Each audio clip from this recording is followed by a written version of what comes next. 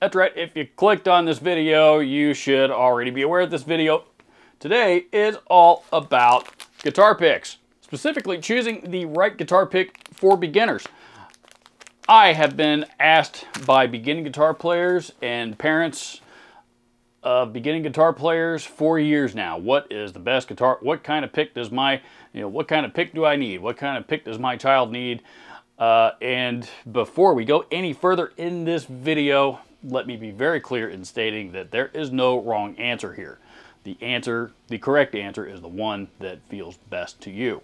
For years, back in my store days, I almost always recommended and sold this particular variety pack of picks from Dunlop because it gave the user an opportunity to try a lot of different shapes and sizes and materials and thicknesses and stuff uh, and help them to decide which one, again, was the right fit.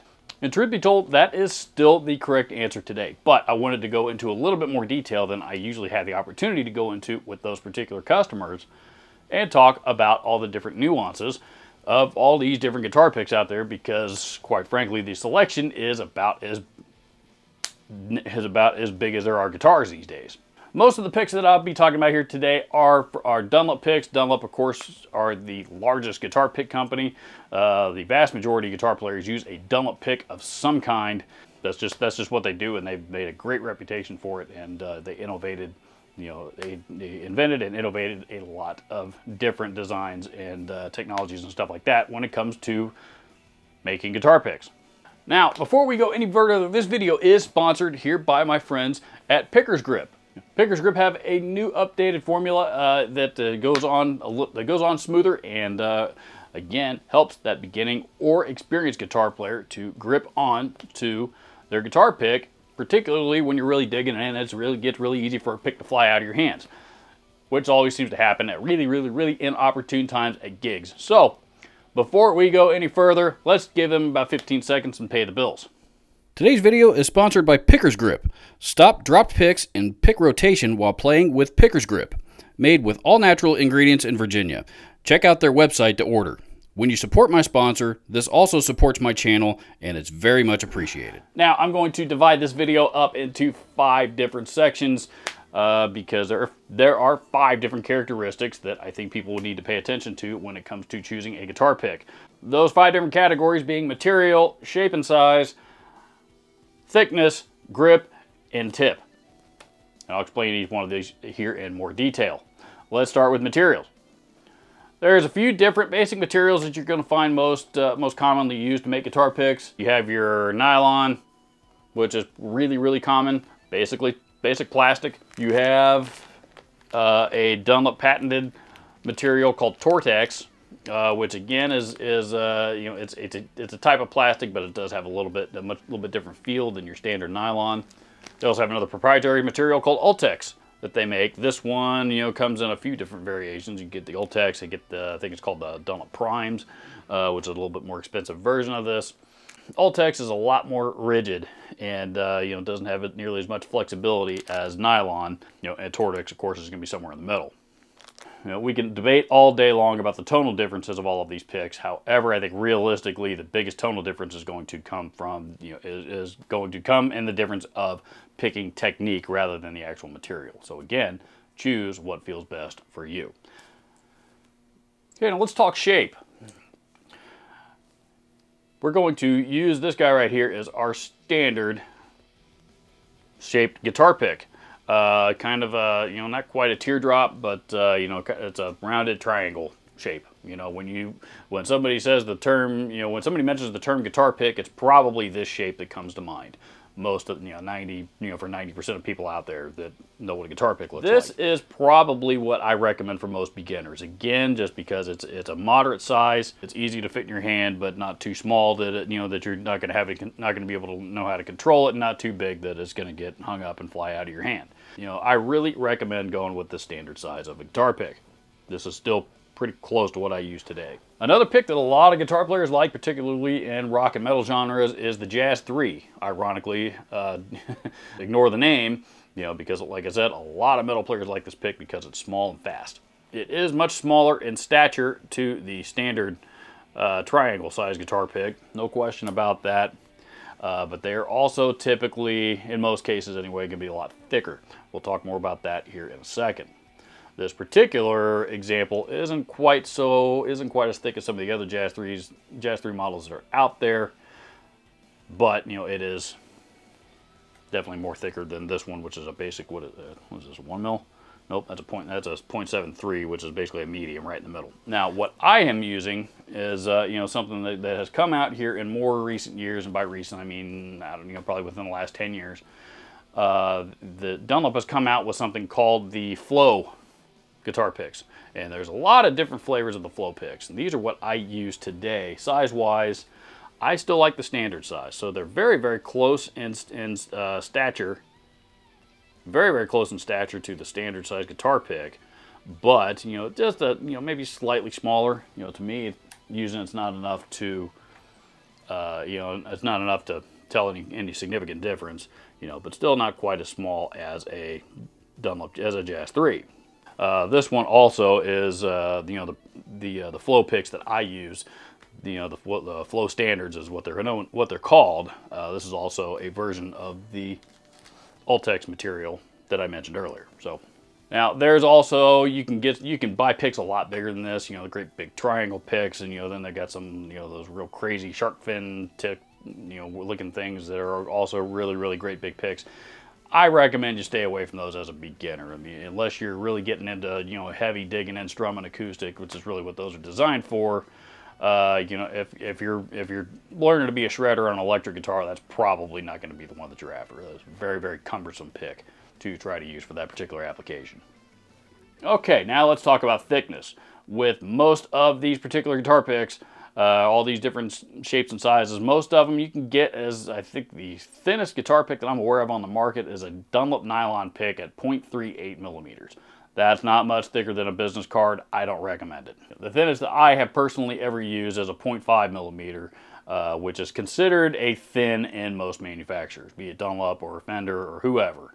That's a really, really thin pick, and honestly, prob a, a really good thickness for beginning guitar players to use. And the reason why is because, you know, because they're so thin, they're very forgiving. And by forgiving, I mean, you know, particularly nylon picks, you know, they they offer a lot of flexibility. Obviously, when you're learning to play guitar, your technique needs to be refined. And part of that technique is knowing where your hand is and what string you're, you're, you're plucking, uh, et cetera, et cetera.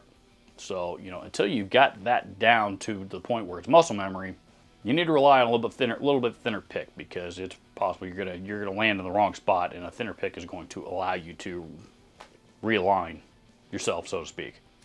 Now, the Dunlop Tortex stuff. These are, you know, rigidity of these is probably a little bit more similar to nylon picks than it would be the Ultex stuff, which I'll get to here in a second.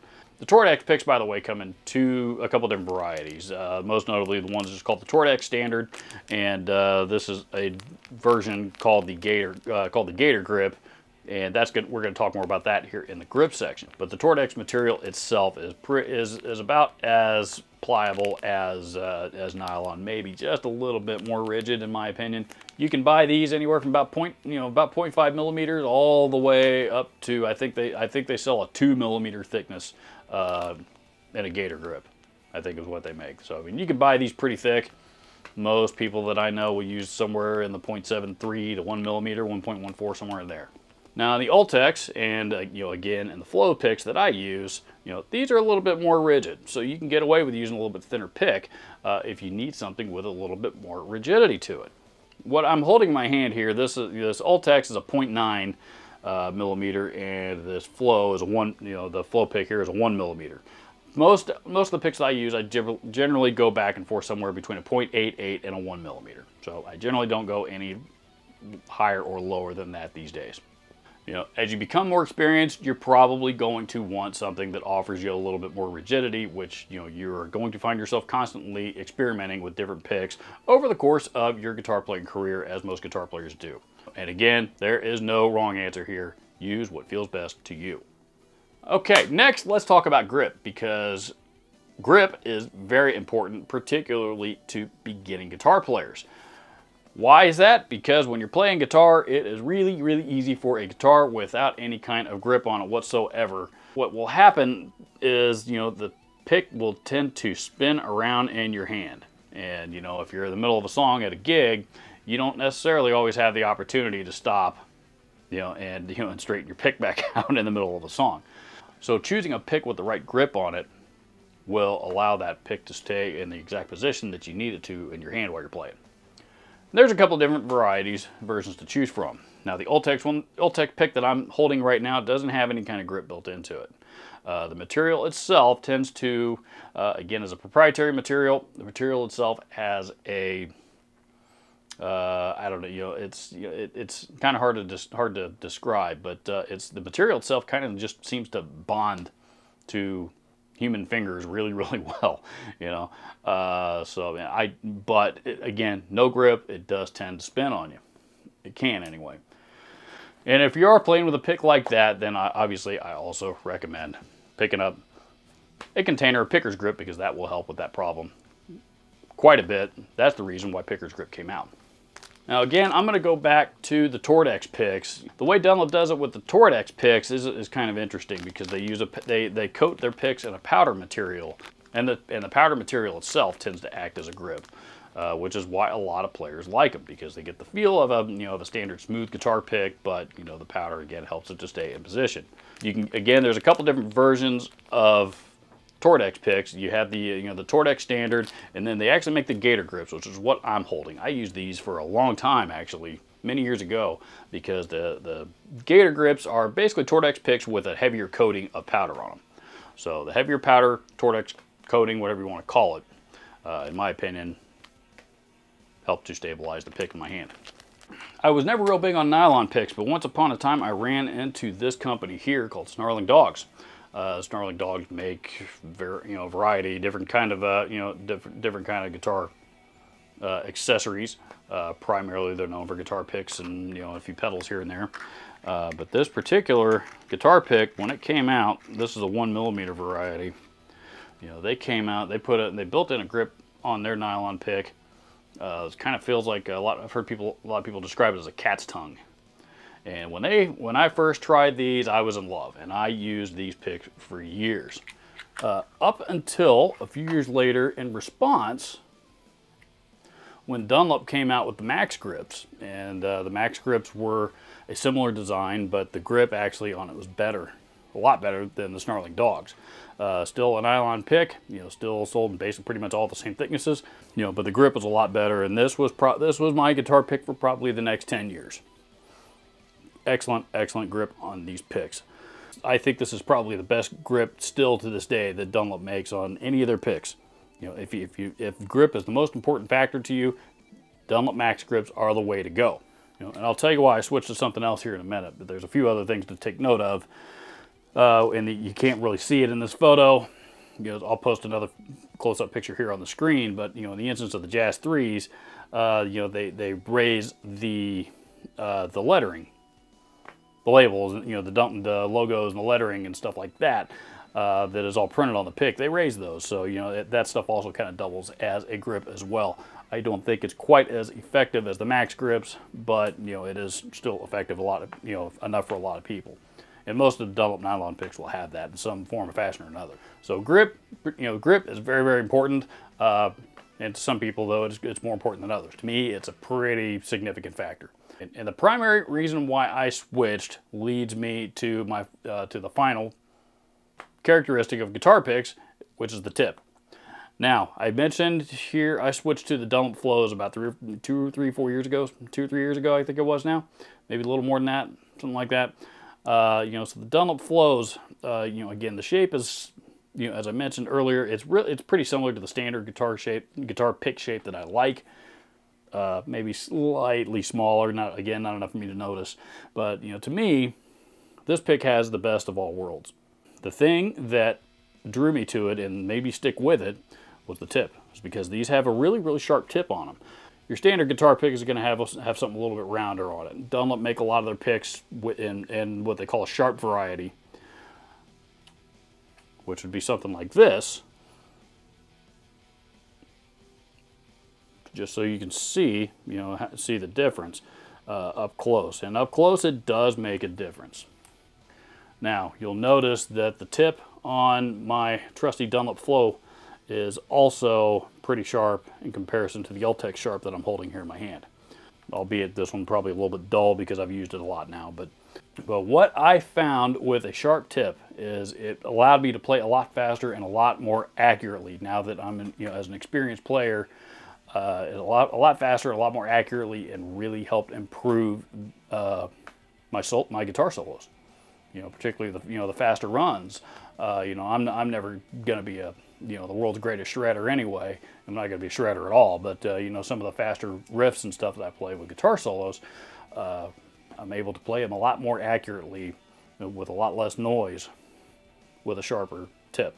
So that's why this is this is important to me. That was the primary reason why I switched to the uh, to the flow standards. But a couple of other reasons. Again, as I mentioned, the sizes. Uh, you know, the size is real similar to what I'm used to using. The shape is again similar to what I'm used to using. This particular one also has you know a similar grip. It's not quite as uh, you know it's not quite as good of a grip as the, the max grips, but it's pretty close. Uh, it's pretty close, certainly close enough, good enough for me to do what I need to do with it. Uh, you know, and the and it's uh, the Ultex material is what made of, so it's, it's a pretty rigid guitar pick. Again, I go back and forth between a one millimeter and a 0.88 millimeter.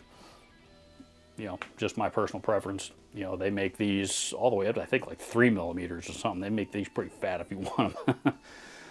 you know, again, all personal preference, and if you really want to try out some different stuff, I recommend checking out one of these, uh, you know, one of these Dunlop variety packs. I'll link all of those up down in the description below, you know, and just seeing what feels best. Because again, at the end of the day, the right guitar pick for you is the one that feels best for you. Thank you for watching this video. I hope you enjoyed it. I hope you found it informative. Adios.